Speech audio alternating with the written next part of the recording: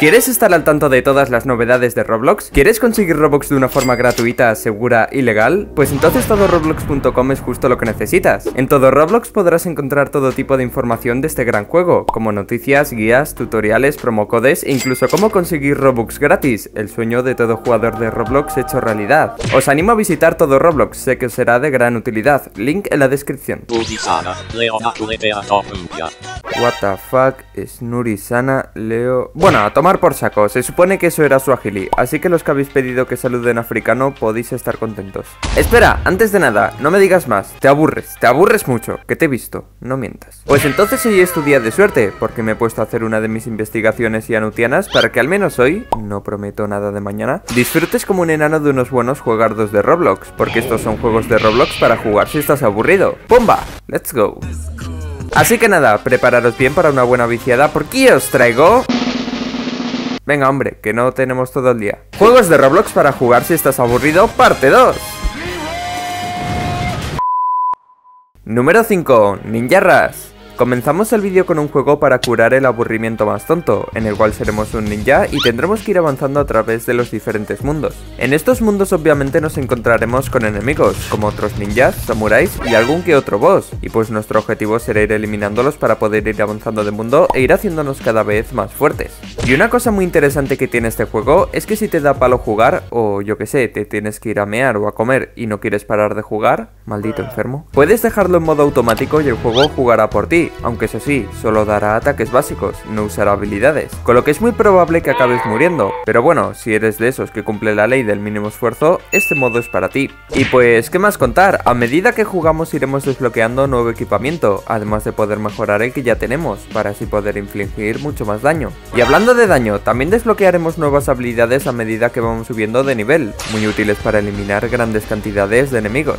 Con lo que como puntuación final, Ninja Rush es un buen juego para matar fácilmente el cuenta con muchos mundos y siempre lo puedes dejar a feca mientras estás haciendo cualquier otra cosa. Así que se va a llevar una puntuación de un Yanut Ninja, un Yanut AFK y un Yanut de darse de toñas.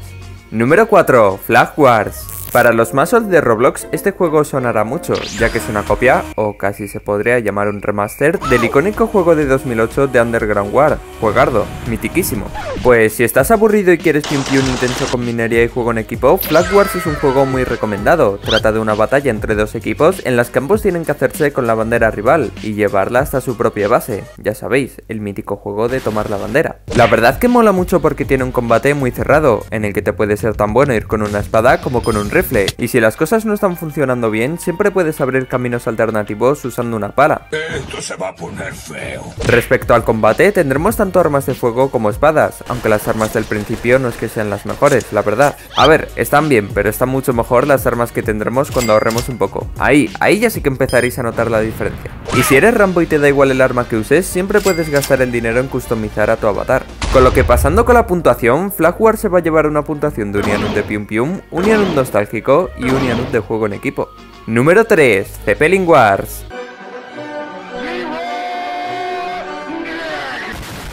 Pues bueno, yo creo que con eso os podéis imaginar muy bien de qué va este juego. Una guerra donde tienes que intentar destruir el Zeppelin enemigo y a la vez defender el tuyo propio. Puedes hacerlo de forma inteligente o siendo un completo kamikaze. Y respecto a los roles de este juego, puedes elegir si ser un tripulante o un piloto. Los pilotos se encargarán básicamente de atacar con bombas al Zeppelin enemigo, aunque también puedes defender tu Zeppelin de otras avionetas, a lo kamikaze nuevamente. Pero bueno, como piloto, tu único objetivo es básicamente atacar, pocas veces vas a defender. Si quieres jugar más defensivo, lo mejor es que elijas el rol de tripulante, con el que debes desactivar bombas y básicamente evitar cualquier daño o invasión que pueda ocurrir en el Zeppelin, ya sea por el aire o por alguien que se ha conseguido colar dentro no se sabe ni cómo. Y básicamente de eso trata Zeppelin Wars, una guerra entre zeppelines en la que contamos con varios modos de juego, todos muy divertidos y que requieren bastante juego en equipo y también requieren de algunos sacrificios. Con lo que como puntuación final, Zeppelin Wars se va a llevar una puntuación de un Yanut de Pium Pium, un Yanut de juego en equipo y un Kamikaze. Número 2. Megamets. En este canal si os acordáis ya hemos visto varios juegos de ese estilo, de crear y luchar con nuestra propia máquina, pero en este juego van mucho más allá, ahora lo veréis.